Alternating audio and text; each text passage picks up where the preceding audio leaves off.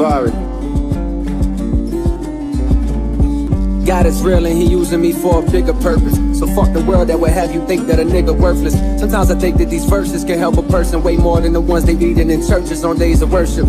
No disrespect to the Lord and Savior, that ain't just ego. I just observed that the words no longer relate to people. Cause modern times be flooded with dollar signs and social media stunting. My niggas just wanna shine. They frame of mind so far removed from the days and times of Nazareth. Like these days is a labyrinth, and the maze so elaborate, we barely get through half of it before it's too late. My niggas is felons from selling weight in more than two states.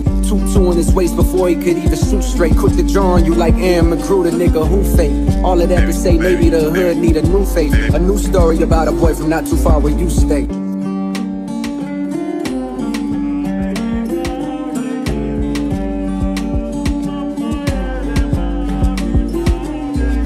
His mama was a virgin named Yolanda, and she raised him on her own. After she was disowned, her mama called her a liar, said, Get the fuck out my home since you wanna be grown. So there she was now, 17 and alone. But this little boy that grew in her stomach made her feel strong. The angels paid her a visit one night and let it be known. This was God's child. Woman, behold a miracle. She shed tears cause she never believed in the spiritual, but her heart was pure and she was good. For 18 years, she raised him on Section 8 in the cold embrace of the hood. Did the best that she could. The boy was named Javari, walked with the spirit of his father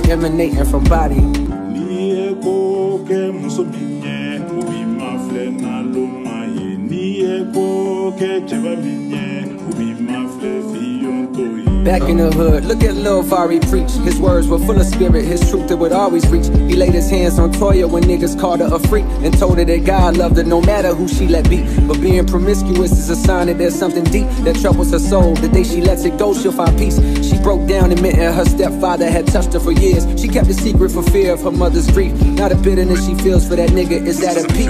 And her lack of self esteem is the reason that she would sleep with anybody and not think twice. Javari spoke calmly, instructing her to forgive her stepfather father, though he was wrong, he was sick, afflicted by evil. But the power to switch how you feel about people who hurt you is truly a gift. The thing that can make you rich or keep you down in the ditch if you refuse to let go of the ground. And how can you lift into the sky where you belong with the most high? Now wipe those tears from your eyes. My father wants you to fly. Mm.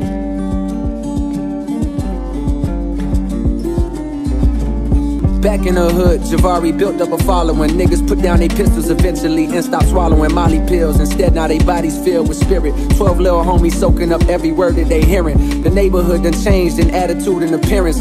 Police dumbfounded by lack of crime and they swear it's a fluke. Not knowing the truth that this a miracle. Niggas is waking up, but the powers that be they fear it. So government keeping tabs on Javari and those who practice adherence to things he teaching. And then comes the interference. They storm the hood, guns out, bust into the house that he slept in. A warrant claiming suspicion possession of drug possession. Javari sat calmly as if he had been expecting, heart full of love, even for those who need to oppress him. They told him hands up and he did just as they directed. They fired on him, claiming they thought he reached for a weapon. He laid on the floor breathless, blood leaking from his chest, plus a bullet hole through both of his palms. Ain't that a message?